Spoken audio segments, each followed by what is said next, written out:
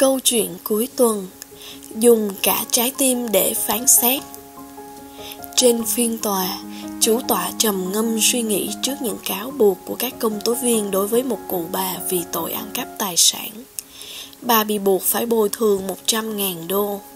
Lời bào chữa cho lý do ăn cắp của bà là vì gia đình bà rất nghèo, đứa con trai bị bệnh, đứa cháu thì suy dinh dưỡng vì đói. Nhưng ông chủ quản lý khu vườn trồng sẵn nói bà ta cần phải bị xử tội nghiêm minh như những người khác. Thẩm phán thở dài và nói, Xin lỗi, thưa bà. Ông ngừng giây lát, Nhìn ngắm bà cụ đói khổ.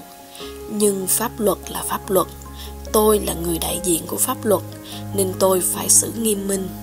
Nay tôi tuyên phạt bà bồi thường 100.000 đô cho chủ vườn sắn. Nếu bà không có tiền bồi thường Bà buộc phải ngồi tù 2 năm rưỡi. Bà cụ run run, rướm nước mắt.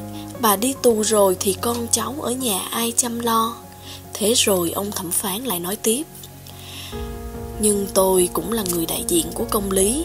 Tôi tuyên bố phạt tất cả những công dân nào có mặt trong phiên tòa này 500 đô Vì sống trong một thành phố văn minh Giàu có này mà lại để cho một cụ bà ăn cắp vì cháu mình bị đói và bệnh tật. Nói xong, ông cởi mũ của mình ra và đưa cho cô thư ký. Cô hãy đưa mũ này truyền đi khắp phòng Và tiền thu được hãy đưa cho bị cáo. Cuối cùng, bà cụ đã nhận được 350.000 đô tiền quyên góp, trong đó có cả 500 đô từ các công tố viên buộc tội bà. Một số nhà hảo tâm khác còn trả giúp bà 100.000 đô tiền bồi thường. Bà lão rung vì vui sướng. Thẩm phán gõ búa kết thúc phiên tòa trong hạnh phúc của tất cả mọi người. Đây là một phiên tòa xét xử nghiêm minh và cảm động nhất mà tôi được biết, vì tất cả chúng ta đều phải chịu trách nhiệm với cuộc sống xung quanh chúng ta vị thẩm phán đã không chỉ dùng luật pháp mà còn dùng cả trái tim để phán xét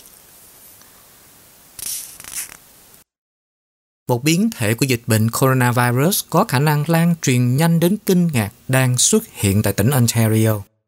Chúng ta cần nâng cao ý thức phòng chống nạn dịch hãy đi tiêm ngừa và lập tức tiêm mũi tăng cường.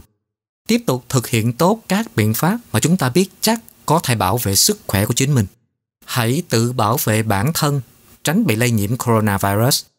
Quý vị có thể đến trang mạng ontario.ca gạch chéo COVID-19 để tìm hiểu thêm thông tin mới. Một lời nhắn của chính phủ tỉnh Ontario